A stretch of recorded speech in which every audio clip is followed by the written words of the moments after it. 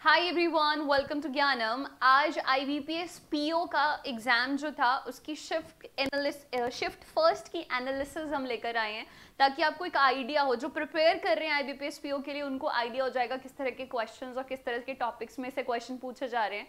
और जिनकी अभी शिफ्ट आने वाली हैं, उनके लिए तो ये बहुत ही ज़्यादा इंपॉर्टेंट रहेगा कि किस तरह के टॉपिक्स जो हैं, वो पिक किए जा रहे हैं अभी राइट सो बोथ स्टूडेंट्स जो कि फ्यूचर में प्रिपेयर कर रहे हैं और या फिर जो अभी एग्ज़ाम दे रहे हैं दोनों के लिए बेनिफिशियल होएगा।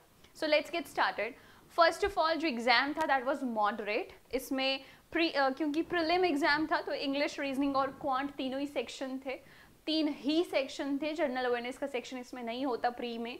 सो मॉडरेट लेवल था तीनों का right and overall paper moderate था। अगर हम इंग्लिश लैंग्वेज की बात करें, जैसे कि आपको पता है कि हर एक सेक्शन में आपको 20 मिनट्स मिलते हैं, है ना?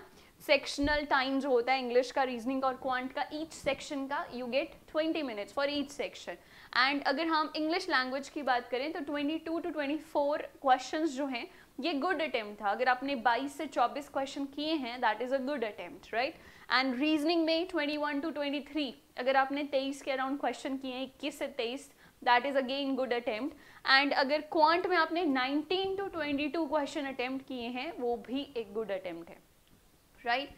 अब हम बात कर रहे हैं क्वांट के टॉपिक्स की कि किस किस टॉपिक से क्वेश्चंस आए थे ज़्यादा।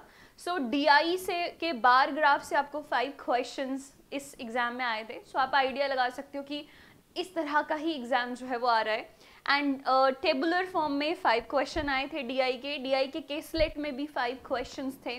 Then number series missing missing number series पूछी थी। उसमें सिक्स क्वेश्चंस थे। अप्रॉक्सीमेशन के फाइव क्वेश्चंस थे। एंड अर्थमेटिक क्वेश्चंस जो थे वो नाइन थे।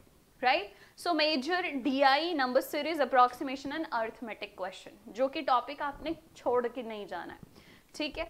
देन अगर हम रीजनिंग की बात करें तो सर्कुलर सिटिंग अरेंजमेंट के फाइव क्वेश्चन थे। एंड लीनियर सिटिंग अरेंजमेंट के five question days based puzzle के five question year based puzzle के भी फाइव क्वेश्चन और फ्लोर फ्लैट पजल के फाइव क्वेश्चन इन शॉर्ट अगर मैं कहूँ तो पजल से पंद्रह क्वेश्चन आए हुए थे, और सिटिंग अरेंजमेंट से टेन क्वेश्चन आए हुए थे राइट इनइक्वालिटीज से फोर क्वेश्चन थे साइलोजिज्म से थ्री क्वेश्चन थे। राइट कोडिंग डिकोडिंग से एक क्वेश्चन पूछा गया था पेयर से एक क्वेश्चन पूछा गया था ऑड वन आउट से एक क्वेश्चन पूछा गया था। तो ये भी टॉपिक टच थे लेकिन अगर आप मेजर देखो तो सिलोजिज्म इनइक्वालिटीज पजल्स एंड आपका सिटिंग अरेंजमेंट ये पोर्शन जो है इंपॉर्टेंट पोर्शन है। इंग्लिश लैंग्वेज की अगर हम बात करें तो रीडिंग कॉम्प्रीहेंशन कॉम्प्रीहेंशन से दस क्वेश्चन आपको पूछे गए थे, ठीक है? एरर के सिक्स क्वेश्चंस थे and para jumbled five questions match the column four questions and word swap five questions ठीक है? सो टेन सिक्स फाइव ये देखो मेजर चार पाँच ही टॉपिक हैं और क्वेश्चंस उनसे काफ़ी पूछे गए थे। सो so, ये थी एनालिसिस पेपर मॉडरेट रहता है। 20 टू 25 के बीच का अटेम्प्ट जो है is a good attempt in these papers और ये ये टॉपिक जो हैं वो इस शिफ्ट में टच किए गए थे। और आपको इन टॉपिक्स के ऊपर ज़्यादा ध्यान देना है और कुछ और चीज़ें हम इसके रिगार्डिंग और लेकर आएँगे डिफरेंट शिफ्ट्स के लिए। All right so thank you so much all the best for your exam.